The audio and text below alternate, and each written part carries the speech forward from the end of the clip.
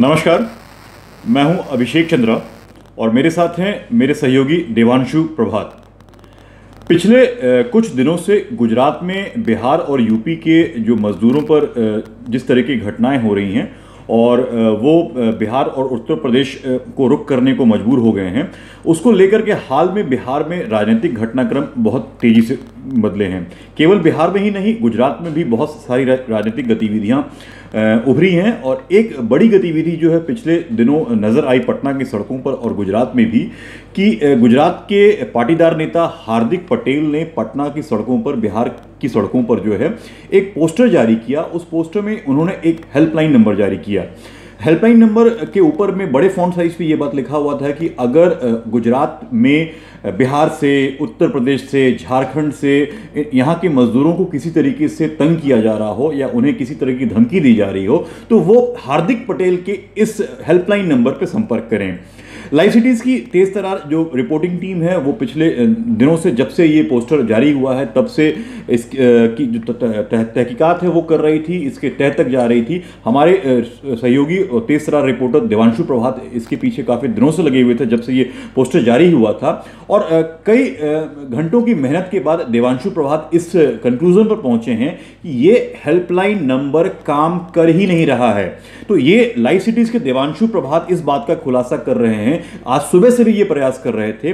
देवांशु क्या निकला नतीजा? हाँ देखिए अब से सुबह से ही मैं फ़ोन कर रहा था तो सुबह से लेकर दोपहर तक फ़ोन बंद था और देर शाम वो फ़ोन ऑन हुआ।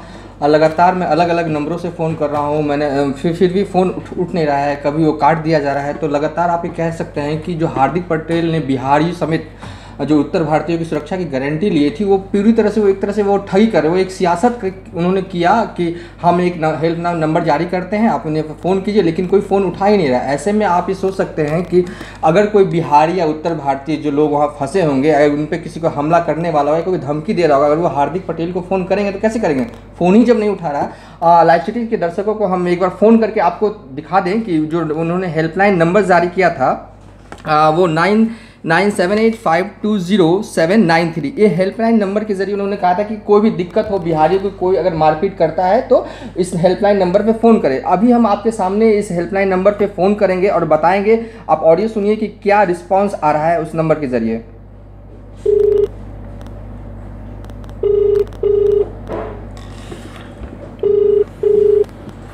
ये वो नंबर है double nine seven eight five two zero seven nine three को।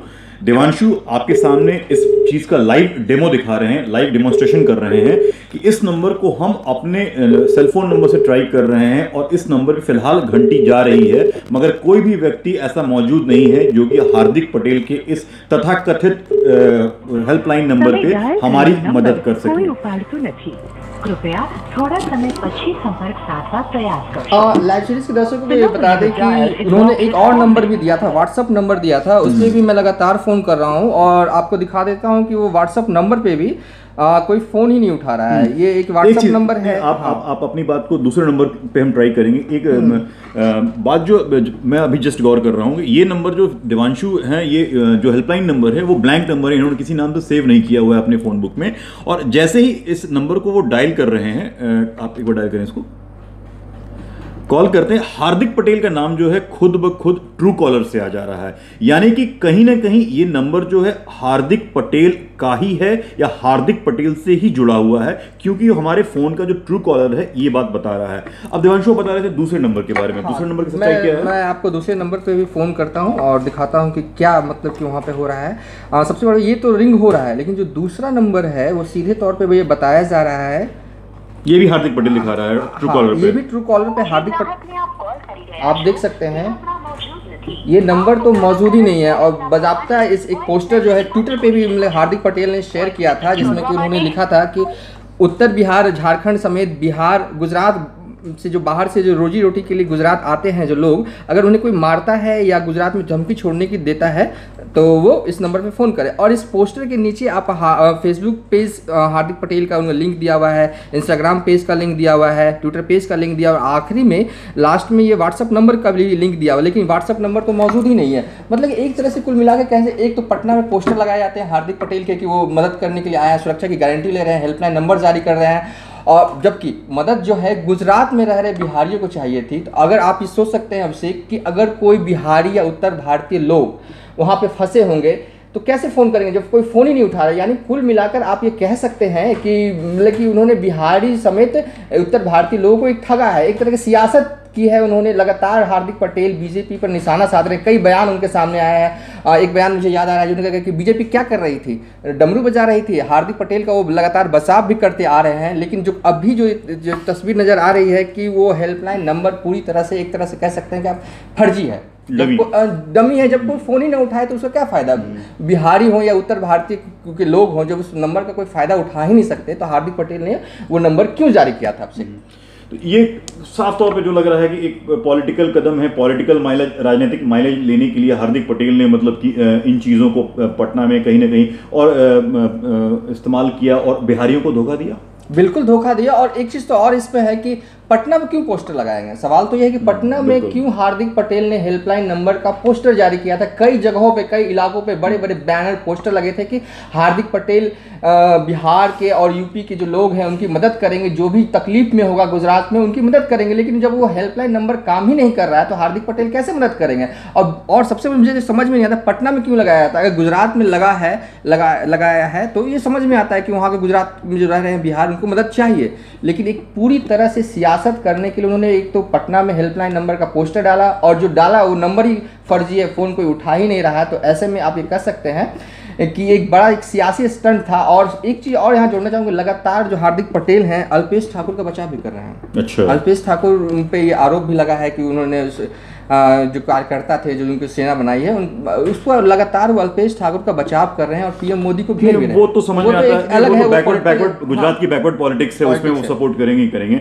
लेकिन आप एक बड़ा वाजिब सवाल उठा रहे हैं। लाइव सिटीज़ के देवांशु जो हैं फ़िलहाल एक बड़ा वाजिब सवाल उठा रहे हैं कि अगर सही मायने में हार्दिक पटेल को बिहारियों की मदद करनी होती तो ये जो पोस्टर पटना की सड़कों पर उनकी पार्टी द्वारा उनकी संस्था द्वारा लगवाया गया है ये पोस्टर गुजरात के विभिन्न जिलों में अलग अलग इलाकों में लगाए गए होते उन फैक्ट्रियों के सामने लगाए गए होते जहाँ पर बिहारियों को तंग किया जा रहा है मगर ऐसा कुछ भी नहीं हुआ देवांशु बिल्कुल। उल्टा ये मतलब अगर बिहारी मजदूर परेशान होगा तो वो बिहार वापस आएगा। जब वो बिहार वापस आ चुका होगा तो उन पोस्टर को पढ़ करके फिर क्या फ़ायदा? कोई फ़ायदा नहीं है कोई फ़ायदा नहीं है। बस ये तो एक सियासी तरीके से इस्तेमाल करने के आपको याद होगा कि हाल के दिनों में वो पटना के दौरे पे भी आए थे। वहाँ उन्होंने जातीय कार्ड जैसे कि वो हमेशा खेलते रहे पटना के कृष्ण मेमोरियल हॉल में उनका प्रोग्राम था मुझे याद है कि वहाँ भी उन्होंने एक जातीय कार्ड खेला था। तो हो सकता है कि आने वाले लोकसभा चुनाव के मद्देनज़र कोई अपना देख रहे हो बिहार में भी हार्दिक पटेल इस वजह से उन्होंने पोस्टर जो है पटना के, के कई इलाकों में लगाए हैं। हम्म।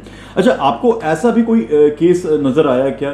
जिस कोई ऐसा सिंगल व्यक्ति मिला हो जो जिसने ये बताया हो कि इसने हेल्पलाइन नंबर पे फ़ोन किया और किसी ने भी उसकी बात को सुनी या फ़ोन को उठाया। आप ये भी बता रहे थे कि फ़ोन बीच में काफ़ी समय तक बंद भी ऑफ़ बंद ऑफ़ भी आ हाँ रहा हाँ दोपहर में फ़ोन बंद था और देर शाम बाद ये फ़ोन ऑन हुआ तो उसके बाद से लगातार रिंग जा रही है कभी फ़ोन को काटा जा रहा है। ऐसा ये नहीं है कि कभी फ़ोन को काटा जा रहा है और कभी तो फ़ोन उठता ही नहीं है। अच्छा। मतलब हरकत उस साइड से मतलब कि जो मतलब भी रिसीवर किसी के है, पास है। किसी के पास है, है, है। और किसी के पास है लेकिन वो फ़ोन उठा नहीं रहा है जानबूझ के नहीं उठा रहा है यहाँ ये इस बात को गौर करने की ज़रूरत है रही बात आपने सवाल यानी वो शख्स जो कि फ़ोन के पास हार्दिक पटेल के इस तथाकथित हेल्पलाइन के नंबर के पास मौजूद है उसके साथ मौजूद है कभी तो वो फ़ोन ऑफ़ कर दे रहा है, कभी पूरी घंटी जा रही है, कोई मगर उठा नहीं रहा है, और कभी जो है आप रिंग करने का प्रयास कर रहे हैं तो वो फ़ोन को बीच में ही काट दिया जा रहा है। काटना यानी कि वो फ़ोन के पास वो कोई शख्स जो है एक्टिव है एक्ट हाँ मैं यही कहना चाह रहा हूँ, कोई शख्स है जो एक्टिव है है। और एक चीज़ और है कि जिस तरीके से उन्होंने मतलब कि बिहारी और यूपी वालों को एक तरीके से कहा था कि हम सुरक्षा की गारंटी देते हैं या देने की कोशिश करेंगे, सब वादे फेल हो गए। युवा नेता हैं हाल के दिनों में ही राजनीति में आए हैं एक मुकाम उन्होंने गुजरात में हासिल किया है और अभी से ही वो हम्म। झूठे वादों का पुलिंदा छोड़ना शुरू कर दिया। ये जो एक कदम है शुरू में हालाँकि लगा था कि हार्दिक पटेल जो है कुछ बड़े काम करना चाह रहे हैं, उनका जो राजनीतिक कदम होने वाला है, ये बड़ा होने वाला है। मगर फ़िलहाल जो है सारी चीज़ें इस तरीके से नज़र नहीं आ रहा है। ये कहीं ना कहीं एक धोखेबाजी और वाली बात है, धोखेबाजी जैसी चीज़ है और हमने बहुत प्रयास किए थे इस चीज़ को। अगर इस टाइप की फेक चीज़ें जो हैं, आप एक कॉल सेंटर एक हेल्पलाइन नंबर आप जारी करते हैं और हेल्पलाइन नंबर जारी करने के बाद जो है उस पर कोई शख्स या तो ज़्यादातर समय फ़ोन ऑफ़ रहता है। अगर ऑन भी रहा तो कोई व्यक्ति फ़ोन उठाता नहीं है। अगर फ़ोन कभी कभी रिंग जाती है, पूरी घंटी चली जाती है कभी कभी जो उस घंटी को बीच में काट दिया जाता है। तो इतना तो ज़रूर है कि लाइव सिटीज़ अपने पटना न्यूज़ रूम से एक बड़ा खुलासा कर रहा है। बड़ा खुलासा हार्दिक पटेल के धोखेधड़ी के बारे में है। हार्दिक पटेल ने जिस तरीके से बिहार के मजदूरों के साथ, उनकी भावनाओं के साथ खेला है पटना के सड़कों पे उनकी उनकी जो संस्था है बड़े सारे पोस्टर्स लगा रही है कि वो बिहारी मजदूरों का जो गुजरात में है, मदद करना चाहते हैं, मगर लाइव सिटीज़ के देवांशु प्रभात ने अभी बड़ा खुलासा किया है कि उस हेल्पलाइन नंबर पे कोई भी व्यक्ति जो है रिस्पॉन्ड नहीं कर रहा है देवांशु आज दिन में ही अ, उस फोन को लगा रहे थे और जिस जब फोन लगा रहे थे तो हम आपको अभी वो रिकॉर्डिंग सुना रहे हैं अ, जो कि अ, देवांशु ने उस वक्त जब फोन लगाया और उस वक्त फौरन ही उस फोन को काट दिया गया यानी कि डिसकनेक्ट कर दिया गया है सुनिए वो रिकॉर्डिंग જે ગ્રાહકને આપ કોલ કરી રહ્યા છો તે હમણાં મોજૂદ નથી આપ પોતાના કરંટ ટેરિફના પ્રમાણે વોઇસ મેસેજ પણ છોડી શકો છો वॉइस मैसेज छोड़वा तो देवांशु चलते चलते आखिरी बात क्या बोलेंगे आप? आखिरी बात ये कह सकते हैं कि जो हार्दिक पटेल ने हेल्पलाइन नंबर जारी किया था वो एक तरह से एक सियासी स्टंट था उनका। वो बस एक दिखाना चाहते थे कि मैं यूपी और बिहार के लोगों के साथ हूँ। लेकिन ऐसा दिख नहीं रहा। अगर वो साथ होते तो उनका फ़ोन पे कोई उठाता। आप ही सोच सकते हैं कि अगर कोई बिहारी या कोई यूपी का लोग अगर उन्हें फ़ोन करेगा तो फ़ोन उठेगा ही नहीं तो कैसे मदद कर पाएँगे? यानी कि जो मदद का वादा उन्होंने किया था बिहार और यूपी के लोगों को वो वादा बिल्कुल तरह से एक तरह से झूठ है। हम्म, झूठ है।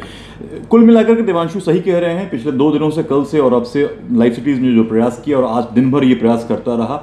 इसके बाद तो मेरे पास सिर्फ़ एक ही शब्द है, हार्दिक पटेल के इस कदम के बारे में बयान करने के लिए, और वो शब्द है छलावा। हार्दिक पटेल ने बिहार के लोगों के साथ में, बिहार के मजदूरों के साथ में अपने इस राजनीतिक कदम के बाद कहीं ना कहीं एक बड़ा छलावा किया है। लाइव सिटीज़ के पटना न्यूज़ रूम से मेरे और देवांशु के साथ अभी इतना ही। नमस्कार। नमस्कार।